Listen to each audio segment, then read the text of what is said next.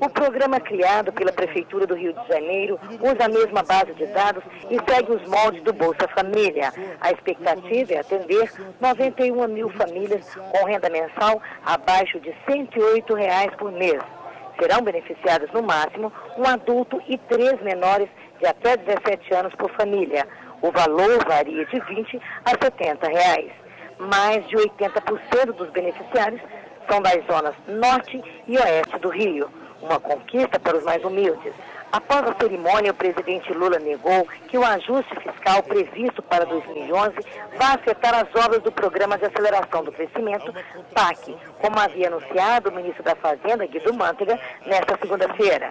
Conheço a Dilma, eh, foi aqui na Rocinha que ela foi batizada com o nome de mãe do PAC. Eu sei do carinho que a Dilma tem pelas coisas do PAC, eu sei do carinho com que ela vai tratar o PAC. Eu não acredito que a gente tenha necessidade de cortar o único centavo do PAC. Eu diria, eu tenho certeza absoluta que não será cortado obra do PAC. O presidente Lula afirmou ainda que vai vetar o projeto do novo marco regulatório do setor de petróleo e gás, que propõe uma redistribuição dos royalties do setor.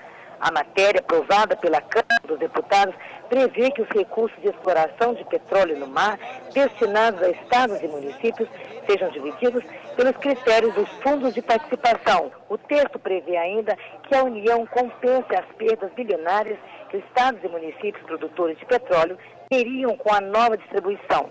Pela emenda, esse novo modelo será aplicado na área do pré-sal que ainda não foi licitada e equivale a dois terços das reservas já descobertas.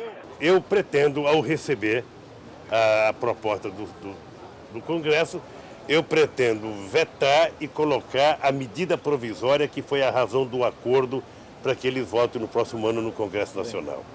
Ah, eu acho que o pré-sal ah, tem recurso suficiente para que a gente possa garantir que os estados produtores como Rio, São Paulo e Espírito Santo sabe, não, não, não, não tenham prejuízos e ao mesmo tempo garantir que os outros estados possam ganhar sabe, uma fatia muito grande. Além disso, é importante lembrar que a União ficará com grande parte desse recurso e que nós já definimos que parte desse recurso será para educação, será para ciência e tecnologia, será para a questão ambiental e para a questão cultural.